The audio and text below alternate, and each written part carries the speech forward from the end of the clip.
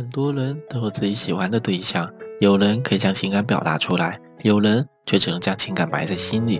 但不管是哪种人，他们都一定很想说出“我爱你”这三个字。竹本第一次在花本研究室看到了阿九，眼睛几乎是刺痛的。那时樱花飘落在窗格，阳光洒落在阿九拿着画笔的手上。他回眸的那一瞬间，竹本知道自己的心沦陷了。可是专注作画的阿九被惊到了，他跑出画室，却看到了叔叔花本教授和一群学生在一起聚会聊天。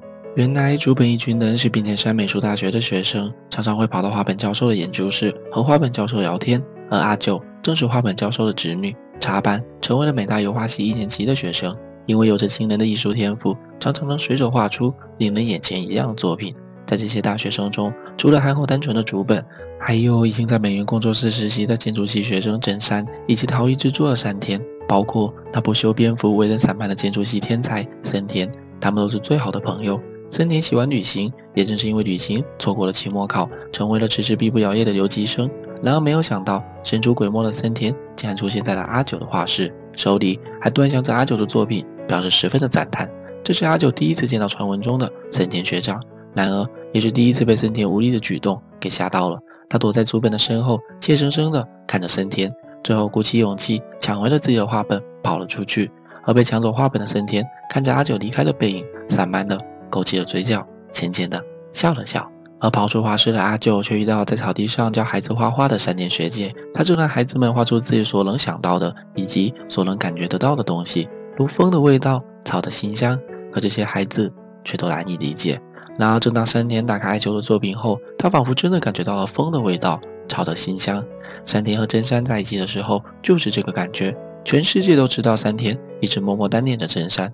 然而山田却不知道真山喜欢着比他大几岁的工作室老板李美。我爱你，你爱他。这个咒语仿佛像一个无穷的轮回。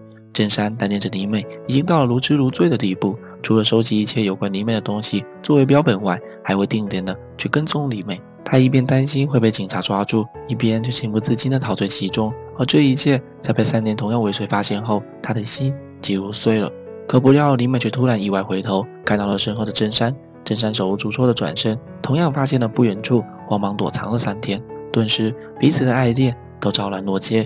而竹本对阿九同样也是一见钟情，可单纯的阿九却一无所知。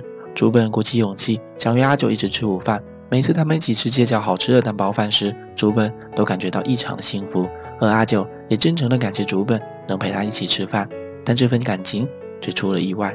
森田还是一如既往的随性无常，灵感到了就能创造出轰动天下的作品。现在的他正着手雕刻一个独特的模型，这个场面被阿九在一个夜晚偶然遇到，那专注的神情不知为何突然吸引了阿九，他好像受到了感染一样，默默地戴上了耳机，利落的在画架上铺上一张纯白的画纸，握紧画笔，肆意的在白纸上叠染了各种色彩。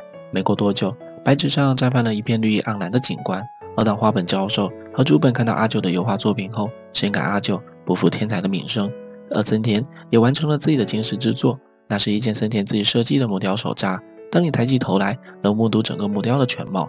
这个作品花费了森田很大的精力才完成。课累后的森田坐在院子里晒太阳时，就不小心碰到了拿着画笔的阿九。当两人眼神触及时，都不约而同的笑了起来。两人一起欢快的绘出了一幅与众不同的作品，隐约看到在黑色颜料处。是一双紧握的手，森田的木刻变成了商品，以五百万日元的高价陈列在展览馆里。出席展会的除了美大的学生，还有事务所的李美、真山，失神的看着自己心心念念的女神，却不知道山田也正失神的看着自己。情不知所起，一往情深。山田知道真山喜欢李妹，也明确的拒绝了她，可是却始终无法洒脱放下。展会的世俗以及阿谀奉承，让森田非常不满。他拉着竹本四人一起驾车去了海边，五个人第一次看到了蔚蓝的大海。大海拥有包容天地般的壮阔，他们高兴的欢蹦乱跳，大喊高呼着“青春万岁”，这一切都是最美好的模样。等到晚上，竹本下定决心要和阿九告白，那我喜欢你这句话却被喝醉酒的森田摔倒在地上的声音给打断了。醉醺醺的森田随意的撕下墙上的画，然后用手蘸上酱油，绘画出了腾飞的青龙。此刻的森田已经成了阿九心中的英雄。阿九高兴的目不转睛看着森田，竹本却悲伤的目不转睛看着阿九。很显然，他也看出了阿九眼中的情感。等到日出时，阿九舒服地站在海边，感受着海风拂面的感觉。随后出现的森田，情不自禁地吻向了阿九，这让阿九呆愣了片刻。他仓皇地逃走，以至于忽视了蹲在车边的竹本落魄的眼神。回到画室的阿九，仿佛一朵正在枯萎的花，无精打采，手中的画笔紧紧握着，却一直没有舞动。这一幕，竹本心疼地看着，可他却无能为力。而森田却仿佛没事一样，出现在电视上，为他的惊世之作宣传着，这让竹本无比的生气。他知道只有森田才能帮助阿九重新充满活力，于是他骑着自行车找到了森田，并告诉他关于阿九的情况，拜托他帮助阿九。一点桀骜不驯的森田顿时愣了愣，可随后却点了点头。等到晚上，森田带着阿九来到展览馆，一把火让木刻烧成了灰烬，是艺术品还是商品都不复存在了。这个举动顿时让阿九释然了。他所喜欢的男人终于在世俗和艺术以及爱情中选择了一项。整整八年都没有毕业的森田，或许就是不愿意自己为了世俗而去堕落。可此刻的竹本则骑着自行车，踏上了一条寻回自己的旅途。他一直骑。一直走，直到看到那片大海。他回忆着那天的情景，觉得无论如何也要把自己的喜欢告诉阿九，哪怕对不起森田。而真山的事业也遇上了麻烦，实习了很久，却一直被事务所的同事当做打杂的来对待。他不愿意这样浪费时间，却更不愿意离开李美。陷入两难的真山，颓废地坐在李美的楼下。这一切的一切，三天都看在眼里。他拉着真山走到了李美面前，看着李美，他果断地选择留了下来。这是他的心之选择。